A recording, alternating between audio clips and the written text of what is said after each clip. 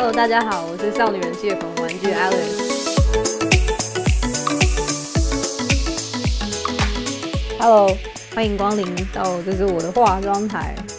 接下来帮大家介绍一下我自己个人的最爱，就是口红收纳架。这个口红架之前是呃请我朋友帮我定做的，因为东西真的太多了，所以必须要向上发展，桌上已经放不下。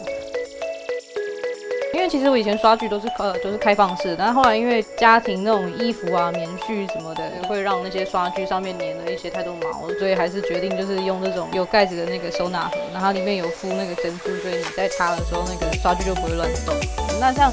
呃底妆刷的话，我也会都放在抽屉，尽量不要让它粘到毛。像唇釉、唇蜜的部分，因为它们都长得比较长，所以就可能平放会比较好放。它可能比较特别的是，就是像。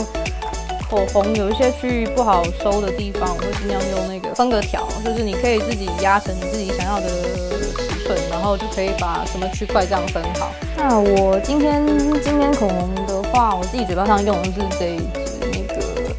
YSL 的。二三号，这次自己我个人还蛮喜欢的，因为它是比较偏有点那种玫瑰色的裸色，又不会太红，然后也不会太土。最近我蛮喜欢的，还有像是 Chanel 的这一支，也是纯露，但是它会比较比一般比这个纯露又再滋润一点。它是一九二，是有点呃比较偏粉一点的玫瑰。那像最近很红的那个小花腮红。大家就是初入门的话，你必须选择第一个颜色的话，我觉得会选择八号 Melon Pop，因为它这个颜色的话，就是比较不会挑肤色，然后不管是什么人用，都会觉得就是一个气色很好的感觉，然后不会不会太土，就会让就是脸部直接有一种明亮可爱的感觉，所以我就还这是我的第一支了。